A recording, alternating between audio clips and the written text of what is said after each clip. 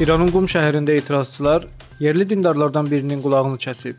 Unikal xəbər verir ki, koronavirus pandemiyasının yaratdığı çətinliklər, o cümlədən hüquq mühafizə orqanlarının təzyiqləri nəticəsində yaranan iqtisadi tənəzzül, sanksiyalar və içməli su çatışmazlıq səbəbi ilə etiraz edən xalqın qarşısına dövləti açıq müdafiə etməsi üçün yerli dindarların nümayəndələri toplanıb.